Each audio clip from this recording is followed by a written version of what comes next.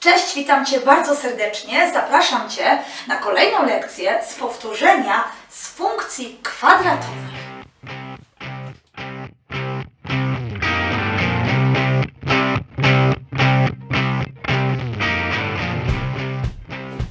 Co będziemy robić na tym spotkaniu? Otóż będziemy przypominać sobie najczęściej występujące w zadaniach postacie funkcji kwadratowej. Będziemy rozwiązywać zadania dotyczące równań kwadratowych czy też nierówności kwadratowych, wykorzystywać pojęcie funkcji kwadratowej do rozwiązywania bardziej skomplikowanych zadań, a więc do rozwiązywania zadań tekstowych. To wszystko przygotowałam na to spotkanie. Zapraszam Cię do rozwiązywania razem ze mną, do nauki razem ze mną tych zadań, które będą na tej lekcji. Zapraszam. Zadanie numer jeden. Mamy wyznaczyć wzór funkcji kwadratowej w postaci ogólnej, wiedząc, że do jej wykresu należy punkt o współrzędnych minus 2 i 3, a wierzchołek jest w punkcie W o współrzędnych minus 3 i 8. To jest takie zadanie typowe dotyczące funkcji kwadratowej. E, kazali nam wyznaczyć postać ogólną. Dlatego ja tutaj przypomniałam dwie z postaci funkcji kwadratowej. Otóż ta pierwsza to jest postać kanoniczna, a ta druga to jest postać ogólna. I my właśnie w tym zadaniu pytamy się o tą postać ogólną. No, żeby się zabrać za takie zadanie, to przede wszystkim e, trzeba wiedzieć, co oznacza wierzchołek. Otóż wierzchołek funkcji kwadratowej jest przyjęty w matematyce, że ma współrzędne p i q. Oczywiście pierwsza to jest x, druga to y, ale wierzchołek, jak jest podany w treści, to znaczy, że ty jesteś w stanie odczytać p i q. Więc co za tym idzie? P i Q od razu powinno Ci się skojarzyć z postacią kanoniczną, którą tutaj przypomniałam. A więc możemy sobie tą postać teraz napisać, czyli z tego wynika, że skoro podali mi wierzchołek, tak, to ja mogę skorzystać z tej postaci. I co piszemy? A, no niestety A nie znamy. X minus i teraz moje P odczytuję to jest minus 3 żeby nie pisać jeszcze jednego minus, minusa tutaj, to ja od razu napiszę, że minus i minus da mi plus i będę miała 3 do kwadratu, tak jak we wzorze, i dodać q, czyli u mnie to jest dodać 8. Wszystko super, fajna postać jest, no ale niestety jest problem, bo nie wiem ile A wynosi. No ale jak myślisz, po co Ci podali punkt? Podali Ci w treści, że wykres tej funkcji kwadratowej przechodzi przez punkt, a każdy punkt ma współrzędne x i y. No więc my ten punkt możemy ładnie do wzoru podstawić. Wiemy do którego, bo ten wzór wybraliśmy postać kanoniczna dlatego, że było w treści podane P i Q. Tylko uczeń musi sobie to wywnioskować z wierzchołku, że wierzchołek ma współrzędne P i Q. Dobrze, no to w takim razie za y podstawiamy trójeczkę, to się równa a, otwieramy nawias. Za x podstawiamy minus dwójkę, a resztę przepisujemy tak jak leci. Dobrze, no to teraz pod. 3 to się równa a. Wykonujemy działanie w nawiasie. Minus 2 dodać 3 to jest oczywiście 1. Jak jedynkę podniosę do kwadratu, to jest dalej 1. I tutaj w domyśle mam mnożenie. Ja specjalnie to zapiszę, ponieważ często młodzież myli, że chce mi to dodać. Nie wolno, dlatego że ja muszę wykonać mnożenie, a a razy 1 to jest a. I dodać 8. Przerzucamy na stronę, czyli A będzie na tą stronę, czyli będzie minus A, to się równa 8 zostawiamy, trójeczkę przerzucamy, czyli będzie minus 3. Czyli minus A to się równa 8, minus 3 to jest 5, pomnożę obustronnie przez minus 1 i otrzymuję, że A moje to jest minus 5. No to skoro tak, skoro wyszło moje A minus 5, to ja wracam sobie do mojego wzoru, oczywiście na postać kanoniczną. No więc ja ten wzór zapiszę. Y to się równa Zamiast mojego a napiszemy minus piątkę, otwieram nawias x dodać 3, zamykam nawias do kwadratu i dodać 8. Skoro tak, to tak, ja teraz podałam Tobie postać kanoniczną, ale w treści prosiłam o postać ogólną. Zatem musimy teraz zastosować tutaj ze względu na ten kwadrat wzór skróconego mnożenia. Więc przypomnijmy sobie wzór skróconego mnożenia. Ten wzór, który dotyczy właśnie kwadratu sumy. Czyli a kwadrat plus 2ab plus b kwadrat po rozwinięciu. A więc przepisujemy y to się równa minus piątkę przepisujemy. Otwieram nawias i stosuję. Pierwszy wyraz do kwadratu, czyli a kwadrat, u mnie to jest x kwadrat. Dodać 2ab, czyli 2 razy x i razy 3. no to 2 razy 3 to 6x po prostu. Dodać i teraz mamy b kwadrat, czyli 3 do kwadratu to jest 9. No i plus oczywiście 8 za nawiasem. Czyli y to się równa. Teraz muszę tą minus piątkę pomnożyć przez każdy składnik w nawiasie. Czyli minus 5 razy x kwadrat, no to minus 5x kwadrat. Minus 5 razy 6x, no to minus 30x. Minus 5 razy 4, no to minus 45. No i oczywiście dodać 8. Prawie już wszystko jest pięknie, początek przepisujemy, natomiast końcówkę trzeba oczywiście wykonać działanie. Minus 45 dodać 8. No to jak najbardziej mamy minus 37. I to, co teraz, mój drogi, nam wyszło, to to jest właśnie postać ogólna. Oczywiście funkcji kwadratowej, ponieważ jest ax kwadrat plus bx i plus c. Zadanie numer dwa. Mamy wyznaczyć wzór funkcji kwadratowej w postaci iloczynowej, wiedząc, że jej miejscami zerowymi są liczby minus 2 oraz 4, a do jej wykresu należy punkt o współrzędnych 3 i minus 15. Skoro prosili mnie o podanie wzoru funkcji kwadratowej w postaci iloczynowej, to znaczy, że musimy sobie tę postać przypomnieć. I ta postać najczęściej, bo oczywiście yy, są sytuacje takie skrajne, kiedy mamy jedno miejsce zerowe, które jest podwójne, ale najczęściej ona wygląda tak. Więc jest a pomnożone przez x minus 1 pomnożone przez x minus x2, dlatego też nazywa się postać iloczynowa. No to skoro tak, to popatrzmy, przecież jak są podane w treści miejsca zerowe, to my przy funkcji kwadratowej, jak są dwa różne miejsca zerowe, to my je nazywamy. Jedno jest x1, drugie x2. Dlatego ja napisałam właśnie z treści, e, czytając, prawda, treść, to ja przepisałam później na tablicy minus dwójkę i czwórkę. No to podstawmy sobie pod ten wzór, więc będziemy mieć y, to się równa. A niestety nie znamy. Otwieram nawias. Za x nie podstawimy nic na razie. Minus x1. I moim x1 jest minus dwójka, więc powinnam napisać jeszcze jeden minus, ale wiemy, że minus i minus da plus, czyli napiszę od razu plus 2. Otwieram kolejny nawias. Znowu mam x, odjąć, tak? I teraz za tym znakiem minus piszemy x2. No ale to jest czwórka. Dlatego mamy w jednym nawiasie x plus 2, w drugim nawiasie mamy x minus 4. No i oczywiście zgodnie ze wzorem przed nawiasami jest a. I teraz co dalej? Bo znowu jest problem, bo nie wiemy ile a wynosi. Bo tak to byłaby już gotowa postać iloczynowa, tylko nie znamy A. No ale wiemy, że nasz wykres, nie rysujemy w ogóle go, ale wiemy o tym, mamy taką informację w treści zadania zawartą, że nasz wykres przechodzi przez taki punkt, a każdy punkt ma dwie współrzędne x i y. Zatem za y postawimy sobie minus 15, to się równa a, otwieram nawias. Za x trójeczkę będzie plus 2, ta trójka, i za tego x oczywiście też trójeczkę będzie minus 4. No to wykonujemy to, co się da, czyli minus 15 to się równa. A, tu jest w domyśle mnożenie, napiszemy, razy, 3 plus 2 to jest 5. Dalej mamy tu mnożenie razy, 3 minus 4 to jest minus 1. No więc, minus 15 przepisuję, natomiast teraz to wykonuję naraz to mnożenie. Czyli 5 razy minus 1 to jest minus 5 i razy a to jest minus 5a. Myślę, że przerzucimy na stronę, czyli tu było minus 5a, przeniesiemy będzie 5a, było minus 15, przerzucimy będzie 15. Dzielimy przez 5 i otrzymujemy, że a to się równa po prostu 3. Skoro tak, wracamy i podstawiamy do postaci iloczynowej. I będziemy mieć y, to się. Nasze a to jest trójeczka. Otwieram nawias x plus 2 i później zamykam nawias i otwieram kolejny x minus 4. I to, co nam wyszło tutaj, to jest postać iloczynowa.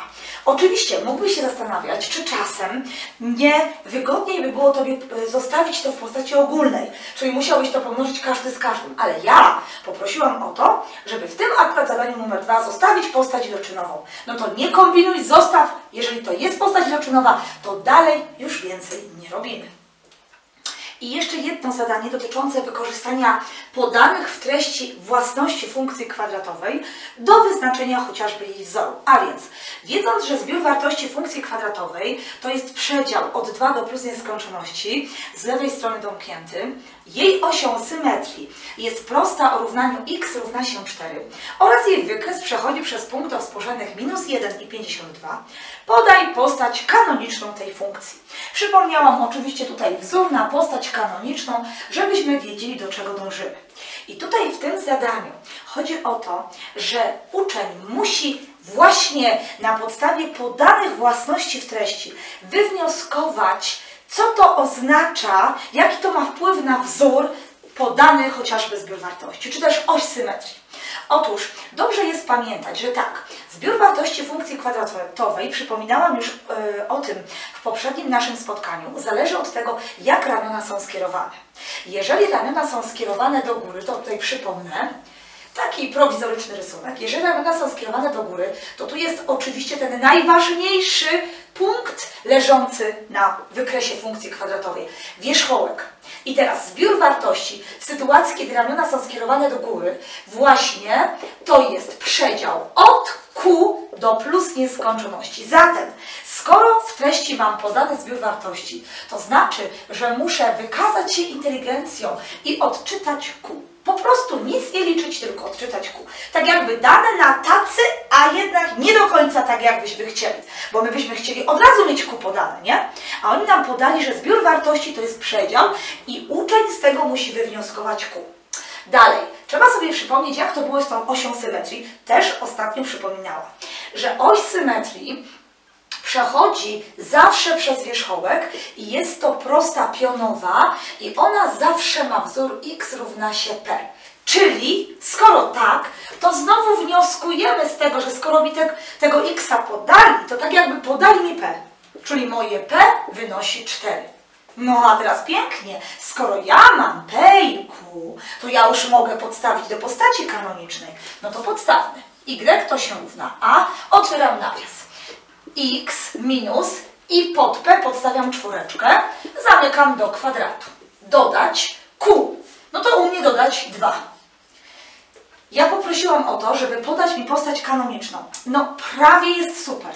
Nie ma tylko tego a. No, musi być, no bo skoro ja proszę o postać kanoniczną, to ja wszystkie współczynniki A, P i Q mam mieć policzone. Na razie P i Q wywnioskowałam, ale A muszę policzyć, ale zawsze jest ta ostatnia deska ratunku, czyli jest ten punkt, który leży na wykresie tej funkcji. On ma współrzędne oczywiście x i y. No to podstawiamy, bo możemy.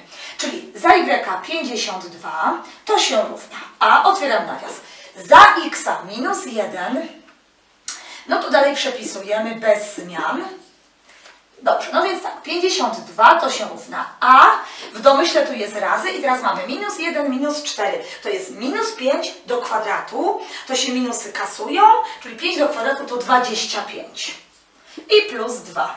No mi się nie za bardzo taki zapis podoba a razy 25. Uczeń od razu musi to zapisać w innej postaci, czyli 25a i plus 2. Przerzucamy sobie teraz na stronę, czyli to przerzucamy na tą, czyli będzie minus 25a, to się równa, dwójka jest ok, a 52 przerzucamy, czyli będzie minus 52.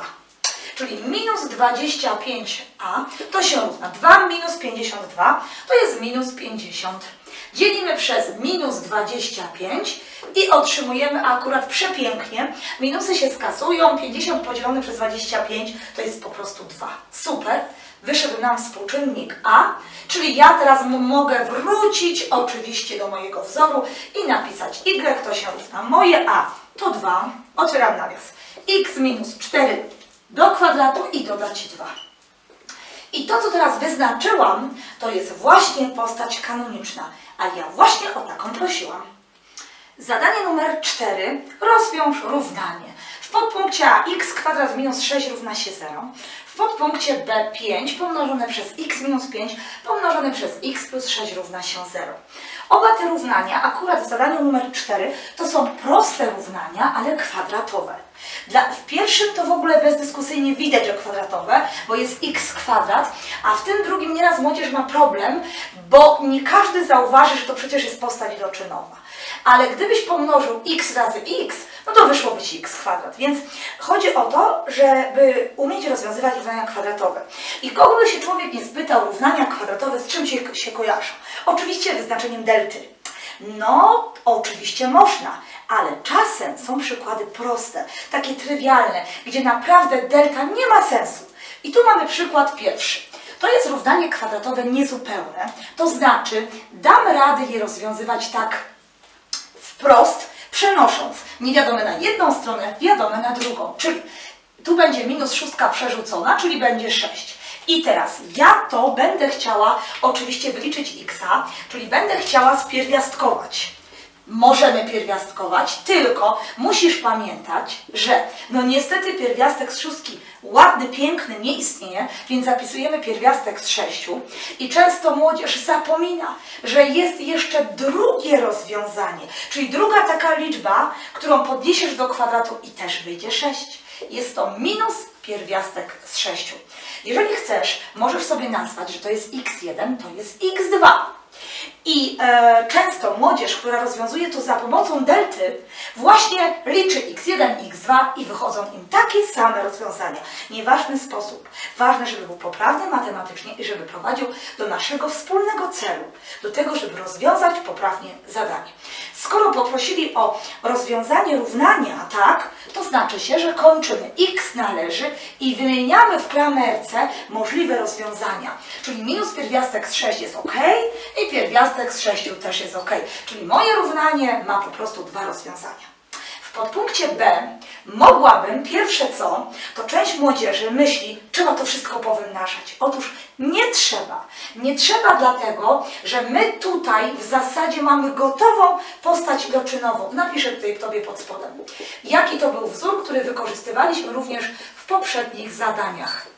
Popatrz, z tej postaci Ty jesteś w stanie powiedzieć, że A to jest 5, że x1 to jest też akurat 5 i że x2 to jest minus 6. Czyli tak naprawdę to Ty masz dla tacy rozwiązania. Piątka i drugie rozwiązanie to będzie minus szóstka. Pamiętamy, że tu jest plus, a we wzorze jest minus, czyli dwa minusy dają plus. Dlatego tutaj musisz sczytać minus szóstka, no bo minus i ten minus da Ci to plus 6, które jest podane e, właśnie na początku tego przykładu. No to skoro tak, no to znowu piszemy, że naszym rozwiązaniem równania jest liczba minus 6, ale też liczba 5. W szybki sposób, bez użycia delty, powtarzam, rozwiązaliśmy sobie te równania. Oczywiście, jeżeli lubisz tą deltę, no to licz sobie tą deltę, tylko czasem na maturze brakuje czasu i trzeba sobie znać prostsze sposoby, żeby szybciej rozwiązywać zadania, a tego chcecie po prostu nauczyć. Zadanie numer 5. Rozwiąż nierówność. W podpunkcie A 2x kwadrat jest mniejsze od 14x. W podpunkcie B minus x kwadrat minus 3x jest mniejsze lub równe od dwójki. Z rozwiązywaniem nierówności jest już troszeczkę gorzej, ale i tak rozwiązywanie nierówności no, kwadratowych, to widać, sprowadza się do umiejętności najpierw rozwiązywania równań. Czyli po pierwsze, no zabieramy się za podpunkt A. Zasada jest jedna. Przerzucamy wszystko na jedną stronę, więc w tym wypadku będziemy mieć 2x kwadrat minus 14x, bo to przerzucam na, na tą stronę i zmieniamy. Oczywiście znak jest mniejszy od zera. I teraz albo liczysz tą deltą, prawda, i później x1, x2.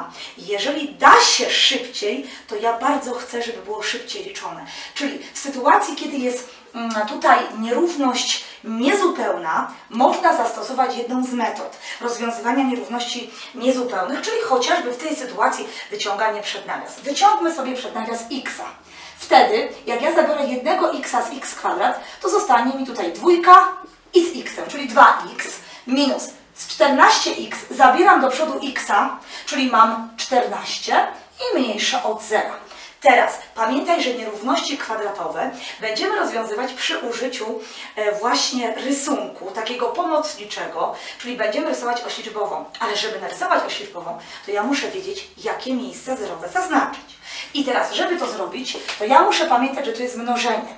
To ja chcę teraz wyznaczyć miejsca zerowe.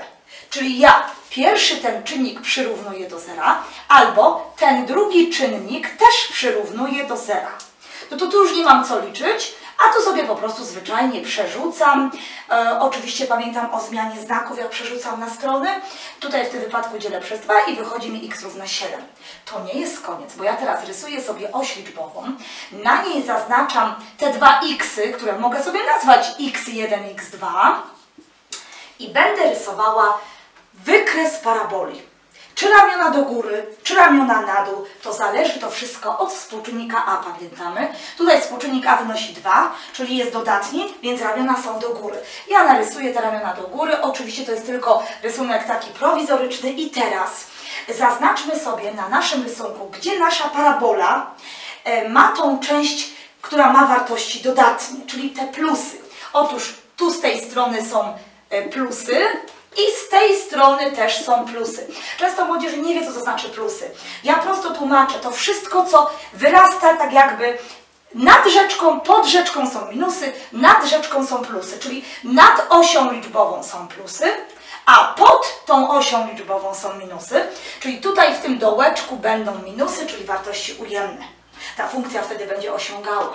No więc zobaczmy, nasza funkcja ta tutaj, kiedy ma wartości mniejsze od zera, czyli ujemne? No patrzymy sobie, x należy, dla jakich to xów? Minusy są od zera otwartego, oczywiście do naszej siódemki otwartej.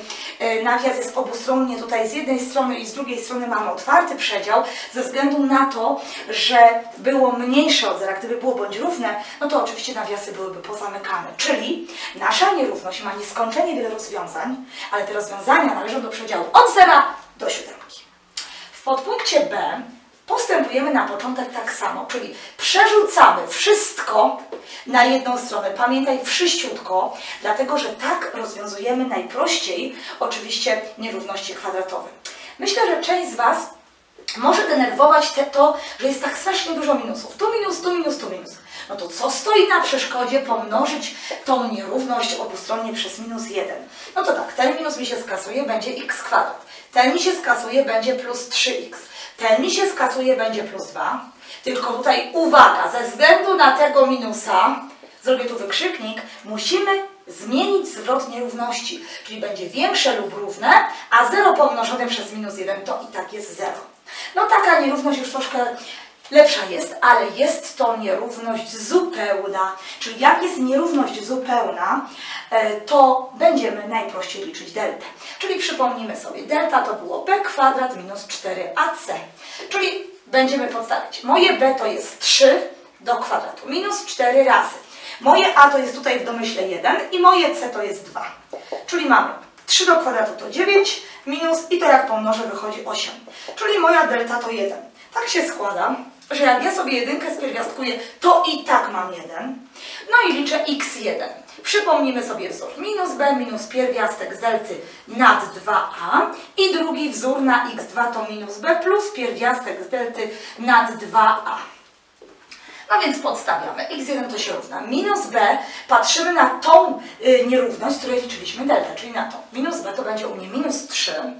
E, później mamy minus pierwiastek z delty, a tu mamy go, czyli mamy minus 1 nad 2a. A moje a to było 1, czyli nie muszę pisać 2 razy 1. No to mamy x1 to się równa minus 3 minus 1, to jest minus 4 nad 2, czyli mamy minus 2. No to x2, na pewno już to kojarzysz, że wystarczy to przepisać, tylko w środku tutaj jest znak zmieniony i sobie policzyć. Minus 3 dodać 1 to jest minus 2 nad 2, czyli jest minus 1. No nie koniec, nie koniec. Musimy narysować oś liczbową, zaznaczyć miejsca zerowe. Minus dwójka jest mniejsza, ciutkę większa jest minus jedynka i teraz ramiona, i tutaj uwaga, bo młodzież nieraz myli, myśli sobie, że patrzymy na początek. Patrzymy zawsze na to, z czego liczyliśmy deltę. Czyli właśnie to, co podkreśliłam, na to patrzymy. Ramiona są do góry, no to rysujemy do góry ramiona. I tak jak w tym tłumaczyłam, tak samo tutaj tłumaczę, gdzie są wartości dodatnie. Z tej strony są plusiki i z tej strony są plusiki. Ta część paraboli tak jakby wyrasta nad rzeczkę, a pod rzeczką tutaj w tym dołeczku są minusy. No i teraz ja mam odczytać większe lub równe 0. Czyli ja mam teraz odczytać, gdzie są te plusy, ale łącznie z tymi miejscami zerowymi, bo jest ta bądź równość. Czyli lecimy od minus nieskończoności do minus dwójki domkniętej, później jest przerwa, bo są minusy, czyli suma i znowu się plusy zaczynają tutaj od minus jedynki do plus nieskończoności. I popatrz, to krótsze, to troszkę dłuższe, bo jednak jak robimy sposób e, taki, że będziemy liczyć deltę, to on nam wydłuża, bo trzeba to x1, to x2, najczęściej, chyba że delta ujemna, ale w tym wypadku mamy deltę dodatnią, wtedy nam się to zadanie wydłuża, aczkolwiek są to pewne schematy. W matematyce powinniśmy unikać schematów, bo powinniśmy cały czas mm, używać naszego rozumu, prawda, i myśleć cały czas. Ale niestety, no, schematy są nieodzowne, e, nie tylko w matematyce, tylko w ogóle w całym życiu człowiek często myśli schematycznie. Staram się to unikać, ale pewne schematy Trzeba umieć sposoby rozwiązywania zadania, bo to naprawdę e, później skutkuje tym, że lepiej zdamy maturę, lepiej zrozumiemy dany, dany materiał, ale zawsze pamiętaj, przy rozwiązywaniu zadań trzeba myśleć. Zadanie numer 6. Jeśli f od x ma wzór x plus 2 oraz g od x ma wzór x kwadrat dodać 4, rozwiąż nierówność. 2g od x jest większe lub równe od f od x minus 1. Czy to będzie nierówność kwadratowa? No pewnie tak, skoro się tym dzisiaj zajmujemy na tym spotkaniu, aczkolwiek tego jeszcze nie widać, prawda? Wiemy na pewno, że co? Że mamy do czynienia z funkcją x plus 2, to jest funkcja liniowa, a tu jest x kwadrat plus 4 funkcja kwadratowa. Ale ja mam rozwiązać właśnie tą nierówność. I teraz wszystko będzie ok, tylko najgorzej będziemy mieć problem tutaj z tym, że mamy f od nie x, tylko f od x minus 1. No ale oczywiście standardowo próbujemy podstawić, no bo po to jest podane f i g, no że trzeba to po prostu wrzucić tutaj, czyli podstawić. Czyli tak, dwójkę przepisujemy, zaraz otwieramy nawias, bo będę podstawiała, czyli muszę otworzyć nawias i zamiast pisać g od x, ja napiszę Tobie x kwadrat dodać 4 większe lub równe. I teraz popatrz, gdybym miała samo f od x, no to bym sobie po prostu to przepisała. Ale, że ja, mia, że ja mam tutaj x minus 1, to znaczy, że ja do tego mojego tutaj wzoru w miejsce tego xa, popatrz, mam wrzucone x minus 1. To znaczy, że w miejsce tego x, no bo innego już nie ma, też mam wrzucić x minus 1. Ja wrzuciłam x minus 1 i jeszcze mam za tym plus 2. To jest trudne, bo nieraz młodzież ma właśnie problem z tym, że zazwyczaj f od x ok, g od x ok, ale jak już się skonstruuje f od x minus 1, to się gubią. Nie wiedzą, co ta minus 1, jaki ona ma wpływ na e, teraz podstawienie no duszy, bo w miejsce tego x zostało wrzucone x minus 1, to znaczy, że w miejsce tego x też musi być x minus 1. To, to ja właśnie to zrobiłam. Napisałam tutaj x minus 1 zamiast tego i plus 2. No to teraz wymnażamy, czyli mam 2x kwadrat. Dodać. Wymnażam 8, jest większe lub równe od, tu przepiszę x, a minus 1 plus 2, no to jest plus 1. No to skoro tak, przerzucam wszystko na jedną stronę, czyli 2x kwadrat plus 8, przerzucamy minus x, przerzucamy minus 1, jest większe lub równe od 0. No pasuje mi to posegregować, czyli 2x kwadrat minus x 8 minus 1, no to jest plus 7 i to ma być większe lub równe od 0. Co to otrzymałam? Teraz ja widzę, że to jest moja nierówność kochana kwadratowa. Jest to nierówność zupełna, czyli wszystkie współczynniki A, B, C są różne od zera. Zatem liczę deltę, no bo jakby inaczej. B kwadrat minus 4AC. Podstawiamy. Delta to się równa. Moje B to jest minus 1 bo w domyśle tu jest jedyneczka, dlatego musimy napisać minus 1. Nie można samego minusa. Do kwadratu minus 4 razy 2 i razy 7. No to liczymy. Minus do kwadratu się kasuje, czyli jest plus, 1 do kwadratu to 1, minus. Teraz to wykonam, od razu mnożenie 8 będzie tutaj razy 7, czyli 50, oczywiście 6. Skoro tak, no to moja delta niestety Albo bardzo fajnie, że mi taka wyszła, wyszła mi delta na minusie, mniejsza od zera. I część młodzieży wtedy pisze sprzeczność. Przepraszam, delta mniejsza od zera, sprzeczność, to jest jak rozwiązuję równanie. Ale jeżeli ja rozwiązuję nierówności, nie wolno tak skończyć. Co delta ujemna oznacza? Że jest brak miejsc zerowych. Ale my mamy rozwiązać nierówność. A ja w zadaniu numer 5 powiedziałam, że nierówności rozwiązujemy rysując oś liczbową. Narysujemy oś liczbową i teraz, skoro nie ma miejsc zerowych, to nic nie zaznaczam. Ale muszę narysować parabolę. I to jeszcze na dodatek ramionami w górę skierowaną, prawda? Muszę tak narysować, żeby nie miała miejsc zerowych. Na pewno wiesz, jak trzeba będzie to narysować. Po prostu nad osią naszą x. Czyli moja funkcja kwadratowa, popatrz, ona jest cała nad rzeczką. Jeżeli ja potraktuję oś jako rzeczkę, cała jest nad rzeczką w powietrzu. Czyli zawsze są wartości dodatnie. A ja o jakie wartości pytam? Mówiąc, że rozwiązuję taką nierówność, że tu jest większe lub równe od zera. Ja pytam o wartości większe od zera lub równe. Ale większe są wszędzie, czyli x należy do zbioru liczb rzeczywistych. Oczywiście na rzece nie ma nic, to oznacza, że nigdy nie będą wartości równe 0, ale mają być albo większe, albo równe, a że większe są wszędzie, dlatego piszemy x należy do zbioru liczb rzeczywistych.